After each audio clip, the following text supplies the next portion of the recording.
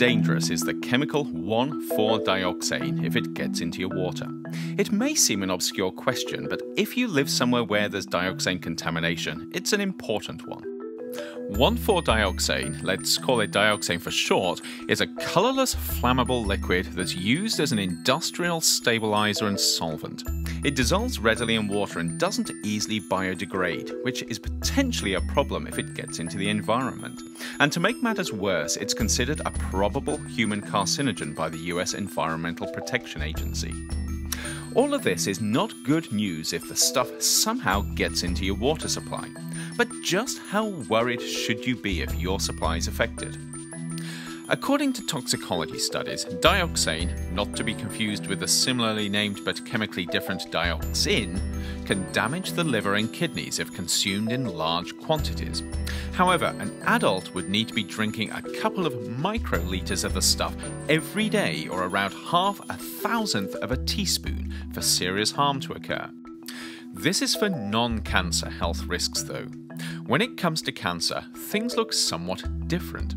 Based on animal studies, the US EPA estimates that if an adult spends their life drinking water contaminated with just 3.5 micrograms of dioxane for every litre of water, that's less than one millionth of a teaspoon, they have a 1 in 100,000 chance of developing liver cancer. But what does this mean in reality? The city of Ann Arbor provides a useful case study here for making practical sense of a somewhat academic risk assessment.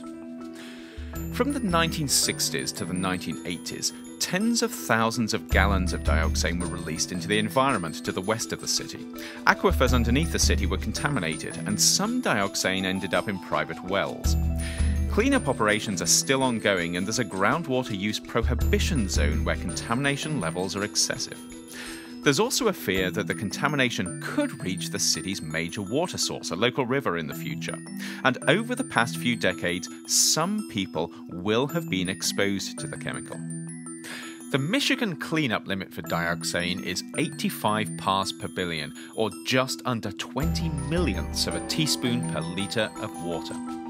This is the theoretical level of contamination people could be exposed to before action is taken.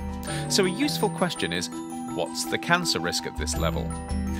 Following the US EPA analysis, if you were to drink water contaminated with dioxane at 85 parts per billion your whole life, your chances of developing liver cancer would be around 1 in 4,000.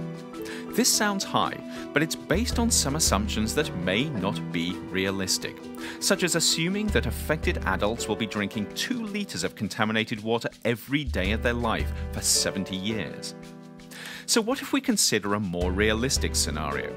Imagine, for instance, that you've lived in Ann Arbor for 20 years and only drink 1 litre a day of tap water.